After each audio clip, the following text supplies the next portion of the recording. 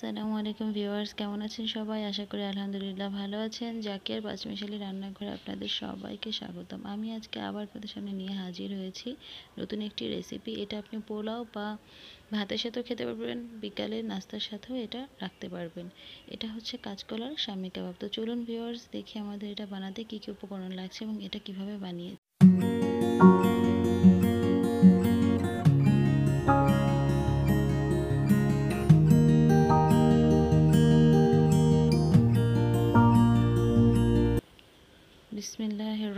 রহিম আমি এখানে সব ইনগ্রিডিয়েন্টসগুলো রেখে দিয়েছি। চলুন ভিউয়ার্স দেখি আমাদের এখানে কি কি লাগছে। আমি এখানে তিনটা কাঁচকলা নিয়েছি, দুইটা আলু এবং একটি ডিম। কাঁচকলার আলুটা আমি সেদ্ধ করব, সেজন্য আলুটা আমি ছিলে নিয়েছি, আলুর খোসাটা ফেলে দিয়েছি এবং কলাটা আমি ওইভাবেই রেখেছি। এখানে মশলা নিয়েছি, আদা, রসুন বাটা এক চা চামচ, জিরা গুঁড়া এক চা চামচ, কাবাব মশলা এক টেবিল চামচ, গরম মশলা এক চা চামচ, হলুদ মুড়ি হাফ চা চামচ হলুদের গুঁড়া হাফ চা চামচ, গোলমরিচ হাফ চা চামচ। আর এখানে আছে পেঁয়াজ আমি হাফ কাপ নিয়েছি, এখানে চালের গুঁড়া এটা ফ্রেশ চালের গুঁড়া, এটাও নিয়েছি আমি হাফ কাপ কাঁচামরিচ কুচি আমি ছয় সাতটা নিয়েছি। এখানে ভাজার জন্য তেল আছে।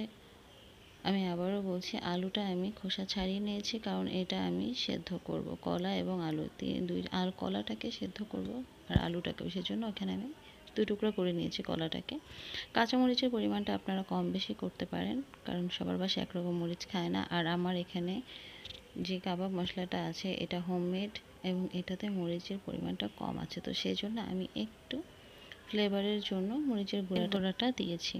বিসমিল্লাহ রহমান রহিম এবং আলু এবং কলা দুটো সেদ্ধ হয়ে গেছে এবং এটাকে আমি ম্যাশ করে নিয়েছি। খুব ভালোভাবে ম্যাশ করে নিয়েছি যেন আলুটা দানা দানা না থাকে। তো আমি এবার এর মধ্যে পেঁয়াজ কুচি ঢেলে দিলাম। এবার আমি আস্তে আস্তে সবগুলো উপকরণ এর মধ্যে মেশাবো। পেঁয়াজটা আমি লম্বা করেই কুচি করেছি। আপনারা চাইলে আরও ছোট চপ করতে পারেন। এবার এর মধ্যে আমি কাঁচামরিচগুলো অ্যাড করছি। কাঁচামরিচটা আমি আবারও বলছি, আপনারা চাইলে কম বেশি করতে পারেন। চাইলে কেউ স্কিপও করতে পারেন। কিন্তু কাঁচামরিচটা না দিলে একটা সুন্দর ফ্লেভার আসবে না। তো সেই জন্য আমি কাঁচামরিচের কুচিটা এখানে দিয়েছি। এবার আমি আস্তে আস্তে সবগুলো উপকরণ মিশিয়ে দেবো। আমি প্রথমে এখানে দিয়েছি কাবাব মশলাটা। তারপর আমি এখানে অ্যাড করলাম জিরা গুঁড়া। আমি জিরাটা ভেজে গুঁড়ো করে নিয়েছি। আমি এবার এখানে মরিচের গুঁড়া খুব কম সামান্য হাফ টিস্পুন দিয়েছি। আপনারা চাইলে এটা স্কিপ করতে পারেন। এখানে আমি গরম মশলা গুঁড়া দিয়েছি এক চা চামচ। এখানেও আমি হলুদের গুঁড়াটাও নিয়েছি এক হাফ চা চামচ। আপনারা চাইলে এটা স্কিপ করতে পারেন। আদা, রসুন এক চা চামচ। আদা এবং রসুন দুটো মিলিয়ে আমার এখানে আমি এক চা চামচ নিয়েছি। গোলমরিচের গুঁড়া আমি হাফ চা চামচেরও কম নিয়েছি। আপনারা চাইলে হাফ চামচও দিতে পারেন। এটা বুঝে যে যে যেমন মরিচ খাবেন, সে তেমন এটা দিবেন। এবার আমি এর মধ্যে চালের গুঁড়োটা অ্যাড করছি।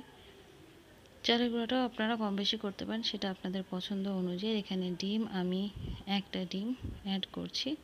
আপনারা চাইলে ডিম আরও একটা অ্যাড করতে পারেন, তবে আমার এখানে যে পরিমাণ আছে, এখানে আমার একটা ডিমই যথেষ্ট।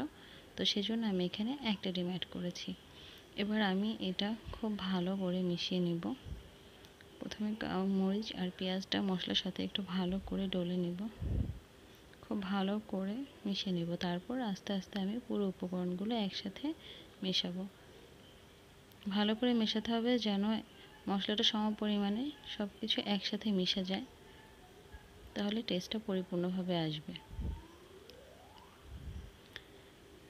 আস্তে আস্তে মেশাতে হবে। আমার কলাটা প্রচণ্ড গরম, তাই আমি খুব আস্তে আস্তে চেষ্টা করছি। আপনাদের যদি কলাটা গরম না তাহলে আপনারা দ্রুত মিশিয়ে নিতে পারবেন। তো আলহামদুলিল্লাহ আমার এটা মাখানো হয়ে গেছে। তো আমি এখানে একটু ধনিয়া পাতা অ্যাড করলাম ফ্লেভারের জন্য। ধনিয়া পাতাটা চাইলে আপনারা স্কিপ করতে পারেন। আমার কাছে ধনিয়া পাতাটা ভালো লাগে, তো আমি সেই জন্য ধনিয়া পাতাটা দিয়ে একটু মাখিয়ে নিলাম।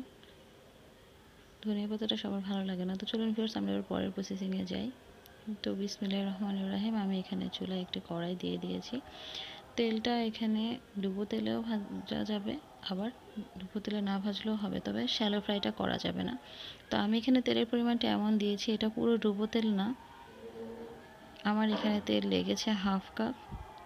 আপনারা চাইলে তেল আরও কম বেশি করতে পারেন। তো ভিওর্স আমি হাতে একটু তেল মাখিয়ে যেভাবে টিকা শেপ দিয়ে নিয়েছি, হাতে একটু তেল মাখিয়ে বলের আকৃতি করে তারপর আমি এখানে টিকা শেপ দিয়ে নিয়েছি। আপনারা চাইলে এটা যে কোনো শেপ দিতে পারেন। ভিউয়ার্স আমার এখানে তেলটা আমি চুলায় দিয়েছি। তেলটা গরম হওয়া পর্যন্ত অপেক্ষা করছি। আমার তেলটা প্রায় গরম হয়ে এসেছে।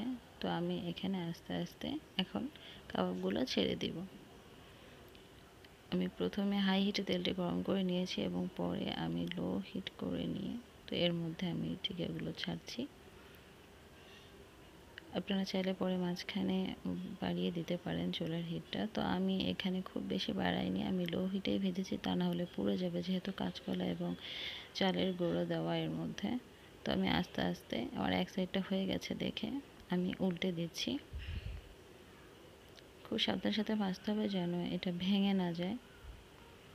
অনেক সময় ভাঙার সম্ভাবনা থাকে। তো সেই জন্য আপনারা খুব সাবধানের সাথে এটা আস্তে আস্তে উল্টে ভাজবেন। আমার এক পাশ হয়ে গেছে, এবার এবার আমি আরেক পাশ উল্টে দিচ্ছি। তো আমি তো আলহামদুলিল্লাহ আমার এখানে কাবাবটা ভাজা হয়ে গেছে ভিউয়ার্স আলহামদুলিল্লাহ আমি এখন এখানে নামিয়ে রাখছি। আমার এগুলো পুরো ভাজা হয়ে গেছে। বিসমিল্লাহ রহমান রাহিম। তো আলহামদুলিল্লাহ ভিউয়ার্স আমার এখানে কাবাবগুলো সব রেডি হয়ে গেছে। আপনারা দেখুন। এটা খেতে অনেক মজা লাগে। এটা আপনারা পোলাও বা খিচুড়ির সাথে খেতে পারবেন। চাইলে এটা আপনারা বিকেল নাস্তার সাথেও রাখতে পারবেন। আমি এটা আপনাদের ভেঙে দেখাচ্ছি যে এটা কতটা ভেতর থেকে নরম এবং উপর থেকে ক্রিস্পি হয়েছে। ভিউয়ার্স আমি এখন আপনাদের এটা ভেঙে দেখাচ্ছি। এটা প্রচণ্ড গরম, আমার ধরতে কষ্ট হচ্ছে, তবুও আমি আপনাদের একটু ভেঙে দেখাচ্ছি। এই দেখুন, এটা প্রচণ্ড গরম, এই যে ভাঙলে এটা ভেতর থেকে ধোয়া বের হচ্ছে। তো ভিউয়ার্স আমার ভিডিওটি যদি আপনাদের ভালো লেগে থাকে তাহলে অবশ্যই লাইক কমেন্ট এবং শেয়ার করবেন। আর এরকম আরও মজাদার অনেক রেসিপি পেতে আমার চ্যানেলটি অবশ্যই সাবস্ক্রাইব করে পাশে থাকা বেল আইকনটি ক্লিক করবেন। ধন্যবাদ সবাইকে।